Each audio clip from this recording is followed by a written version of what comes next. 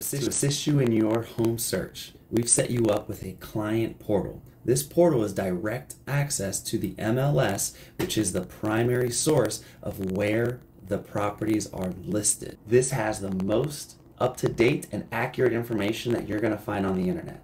The email you receive will be just like this one that you see on the screen here. You'll see that it has our your name set up, it has the link to access your portal, and it has other information specific to your real estate agent. Let's go ahead and click Access Your Portal now. After clicking Access Your Portal now, on the top left hand side, you'll notice all the information specific to your real estate agent you'll be able to find there. You'll also see the map on the left hand side and every time I hover over a property and let's say I select it, it'll bring me right to the listing here. From here, on the right hand side, you'll notice you have a couple options. You are able to modify how it is sorted. It's initially sorted by newest first. If you select that, you're able to change the sort here. Or let's say you want to change the actual view, the map doesn't concern you, you're more than welcome to select the three dots here and then select one option here, client one line.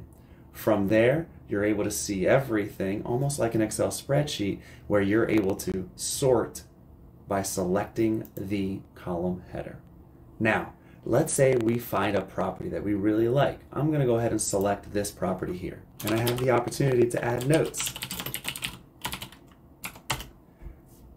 Now, this is direct communication and us as your real estate agents are able to review the notes that you add and even better, I can scroll up to the top right hand side, select this icon here, and save it as a favorite. This allows you to maintain a list of all the homes that you love, or the opposite, if you want to discard this listing. After you go through that process, select favorites in order to see all of the properties that you have favorited.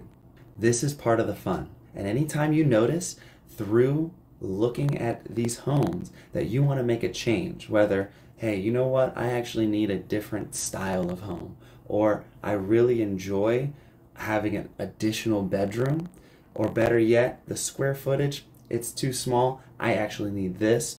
This where we're able to communicate so that we can continually update your criteria to help you find the home that you're looking for.